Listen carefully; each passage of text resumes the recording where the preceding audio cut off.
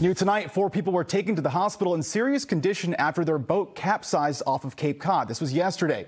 Several fire departments, as well as the Coast Guard, coming out to the scene near Point Gammon. And fire officials tonight reminding boaters to make sure and wear a life vest.